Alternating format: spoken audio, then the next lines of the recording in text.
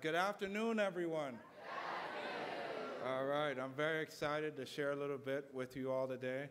Um, as mentioned a little earlier, my name is uh, Captain Barrington Irving. Um, I guess known for a number of things, but especially back in 2007, where I set a Guinness World Record uh, to fly uh, solo around the world. Uh, very grateful to be alive and to talk about it. And I've also had a chance to do a number of cool things with young people which uh, we'll get right into it. I was born in Kingston, Jamaica, left at the age of six, grew up in a rough neighborhood in Miami called Liberty City. At, during that time, I had nothing on my mind as it relates to math and science. I was a really good football player at the time. I played for Miami Northwestern Senior High School. We were ranked third in the nation in football. Went on to be ranked first in the nation in football two years later. I played fullback and linebacker. I was 197 pounds, 3% body fat, and had a full scholarship to attend the University of Florida. I thought football was it until one day I was in a store minding my own business, and this gentleman walked up to me dressed in his pilot's uniform. He just got off of work, walked into the store, and said to me, Hey, son, have you ever thought about becoming a pilot? The first thing I said to him was, I don't think I'm smart enough to fly an airplane. That was the first thing I told him, right? It's aviation. You see planes or flying, you're like, oh, I don't want to deal with that stuff. That's too much math and science. The second thing I asked him was, how much money do you make? After he answered that question, I took an interest in aviation, and um, interest turned into passion. And in Miami, we have this day called signing day, right? It's where all the top athletes basically decide um, which collegiate team you'll continue to play football for. And when signing day came, guess who I signed with? No one. I turned down my full scholarship to the University of Florida. And I said I wanted to become a pilot. Uh, coaches thought I had a mental breakdown. They wanted me to have psychological evaluations.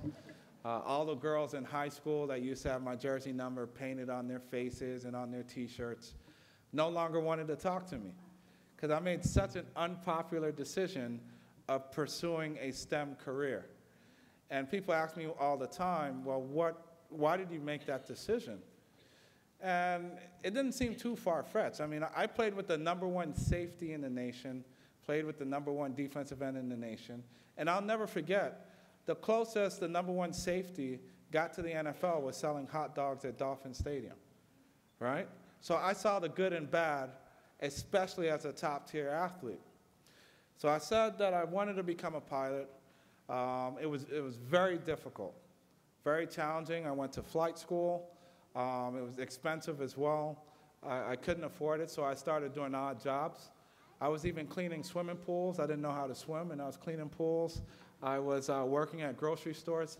I did whatever I needed to do in order to pursue my dream of becoming a pilot. Shortly after that, I said I wanted to fly around the world. Uh, definitely, it was easy to say and very challenging to execute. So, what goes into all the logistics and so forth of flying around the world?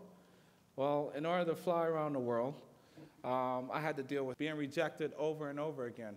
For the first two and a half years, people rejected me. This was a, a sample rejection letter. This one was from Coca Cola.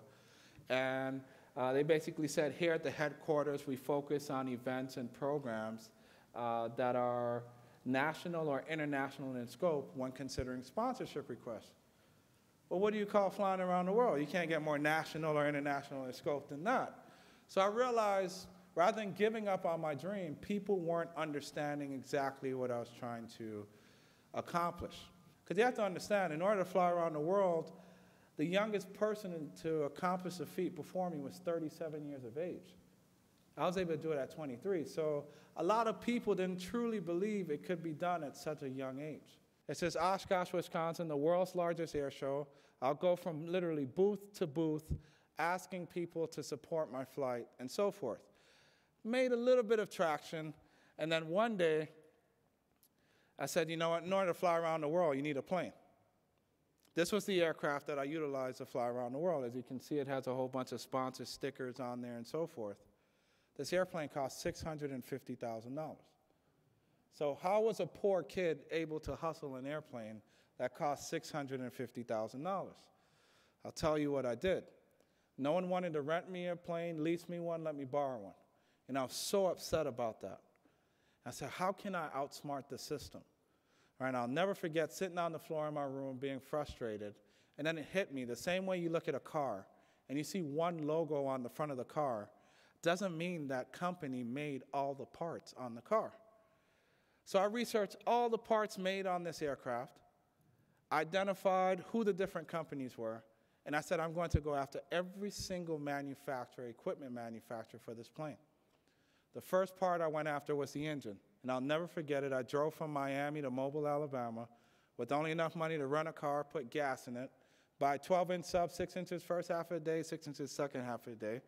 Brought plenty of deodorant with me because I couldn't afford to stay in a hotel or a motel. I slept in the car. And I showed up on a Monday morning in front of this engine manufacturer in Mobile, Alabama, named Continental Motors. I said, Hi, my name is Barrington Irving. I'd like to see if your engine's good enough for my airplane. I had a business suit on. They totally fell for it, brought me in, gave me a tour of the place, showed me the, everything about the warranties, how the engine works, and why I should purchase their engine. I was there for a reason. And the reason why I'm, and, the reason why I'm sharing this story is for you all to realize opportunities are limitless. Do not limit yourself. And after taking the tour of the facility, I acted as if I knew the CEO of the company. So I said, Is Brian here? And they said, Which Brian? I said, Brian, who runs the company. They looked at me, they're like, Man, you really know Brian? I said, Yeah, yeah, yeah. I met him a few times at air shows and conventions and so forth. Never met the guy before in my life. His team fell for it. They brought me in. They brought me into Brian's office. Brian realizes I tricked his whole staff, and he said, You got five minutes, shoot. Now, I was talking to the decision maker, and within those five minutes, I was honest with him. He was the one I was trying to get to. I was honest with him. I told him who I was, where I was from, and exactly what I was trying to accomplish. And he just simply said, Thank you for coming. Drove all the way back home to Miami plenty of deodorant. Got a phone call a few weeks later. To my surprise, it was Brian. He did some research on me. He said, No, you know, normally we don't sponsor engines for something this dangerous because it's a single engine aircraft. But if you had the guts to find me, I believe you'll find yourself around the world. Sponsored an engine worth $83,000 right there on the spot. After that, I was able to get other parts donated. I cut the cost of the plane from 650,000 to 350,000, financed the rest of it with the help of someone interested in being a partner on the airplane. And that's how I out hustled the aviation industry in order to afford a $650,000 airplane. Getting the airplane was one thing. I had a few issues. Number one, the aircraft had no de-icing at that time. It wasn't certified by the FAA. In addition to that, the weather radar um, did not work outside of the United States. Now, when you have icing on the wings of an airplane, it's very dangerous uh, because you degrade the airflow over the wings and your airspeed just comes down, and gets lower and lower, and then you fall out of the sky. All right? It's something, it's something that you really have to pay attention to. This is what it looked like to uh, sit, sit down inside of my aircraft with all the digital gauges. This was before we had tablets back in 07, and uh, I had a huge 17 inch laptop I was working on. And I would sit like this for 12 and a half hours at a time by myself with no one to speak with. Uh, this was me preparing to cross the North Atlantic. Uh, this suit cost about $15,000. All right, what the suit does is if I had to make an emergency landing in freezing water, it'd give me five to seven minutes to get out of the plane, get out of the freezing water, and get myself into a life raft because what happens to your fingers after about five minutes in freezing water? They become numb, they become useless, so how will you open your life raft? I flew into this island here called Shemya, Alaska. You can see the runway is almost as long as the entire island. I almost killed myself getting in here. Uh, I had to deal with a lot of icing, so we went from a nice, beautiful day.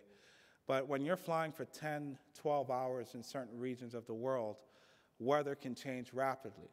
Right? So it's not just about being a hot shot pilot and flying into different places. I also had to be a meteorologist as well. We also had a temperature inversion to deal with. Normally, it's warmer the lower you are uh, to sea level. Well, that wasn't the case where I was flying to in Shemya, Alaska. And I landed with 12 minutes of fuel. After dodging so much icing, I landed with 12 minutes of fuel left in my airplane. and uh, very fortunate to be alive. Egypt was an eye opening experience for me. Uh, it really got me thinking to see certain signs and symbols on artifacts in Egypt that you'd also find in certain parts of Asia, that you'd also find in certain parts of Central and South America. How did that actually happen? This was before boats were going back and forth and so forth. So that really got me thinking about, well, how can I have young people think about math and science in the same way? And the flight took me 97 days, 145 flight hours. I made 27 stops in 13 different countries. I set the Guinness World Record for the age of 23, also the first black man to do it. And it, it, it was an inspiring experience. It, number one, to just survive the flight, I was very grateful for, but over 300,000 students followed my flight. So I realized I had the attention of young people, didn't know exactly what I wanted to do after I flew around the world. Celebrities wanted me to fly for them, airlines wanted me to fly for them, and then I made such an unpopular decision, and I said that I want to get involved in education. Right? I want to help young people do amazing things using math and science. So one of the first projects we did, I challenged 60 kids from failing schools in Miami to build this airplane from scratch. Not only build it from scratch, but they built it in a record 10 weeks. And after they built it, I was uh, brave enough to get in the plane and fly it on its first flight. And it was a huge success. Uh, the young lady on the left hand side, her name is Bakari. When she started off with me, she couldn't even point out a 16th of an inch on a ruler. Now she's on a full scholarship as a math major at Duke University. Right? In addition to that, the young man on the right, Aaron, he was also involved in this project. I'll never forget him because it took him two hours to figure out how to turn on a vacuum. It was the funniest thing ever. and now this kid is working uh, with the Army to disarm specialty bombs. All right, the same kid who took two hours to turn on a vacuum. So I said, well, maybe, maybe I'm just lucky. Maybe, you know, I don't really know what I'm doing. So we did another challenge. I challenged kids this time as young as eight years old to build a car faster than a Ferrari 430 Spider. This was the car that they built. They built a Factory 5 GTM. What I challenged them to do was to fuse together a 525 horsepower LS3 engine with a Porsche transmission that was flipped upside down, a pressure plate in between, put them together. They literally had to build the entire car from scratch, do the interior, and so forth. We then took the car and raced it against a jet on an airport. We raced it against a Learjet. Right? Young people can do anything. But how can I take this on a national scale? How can I expose you guys to some very innovative things that's happening out there? So our next big project is we're going to transform this $5 million private jet into a real-life magic school bus. So we're creating a flying classroom, and we're going to go to some of the coolest places in the world and explore math and science and show practically how it works and why do we even care about it. Believe it or not, my starting and ending point is here in Washington, D.C. Some of the places and people we'll work with is, for example, this beautiful creature.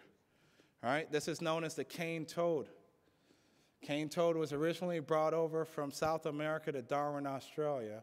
And our mission, so you all will watch this virtually, vote on certain things that we're doing, and we also have a curriculum for teachers that they will go through. And you all will help me balance an ecosystem. Why? The cane toad was brought over from South America to Darwin, Australia. Scientists knew it was highly poisonous. This thing will kill anything from an alligator to a human being. Our mission is to go out, capture them, freeze them, and convert them into fertilizer. Now, what makes these creatures so dangerous? Why is there an imbalance in the ecosystem? Well, scientists brought them over to kill a beetle, but they did not realize this creature lays 12 million eggs at a time and has overtaken Darwin, Australia right? So this is one of our missions. Here's another one. Very cool guy, good friend of mine. His name is Eduardo. He's known as the bionic chef. You probably noticed something interesting about his hand, right? All right, let me tell you what happened to him. He was out hunting for food one day, was accidentally electrocuted by a down power line, took 2,400 volts through his body. had nine different exit points. So it, the, the, the, electricity flowed through nine different points of his body. He had a hole here in his head, another one here, another one here, another one here, lost an arm, lost four ribs. And um, what kept him alive is the electricity was so hot, it literally fused together back his skin after it exited. So he did not bleed to death. He walked three miles, was able to get help, and he survived. But what makes him special is that we're going to focus on biomedical engineering. And um, he has a limb that communicates with his brain. Whatever he thinks, his hand will do. And now he's able to be a chef. So we're going to do an expedition with him as well. Uh, we have a number of different expeditions that we're doing. We're also working with uh, Nike.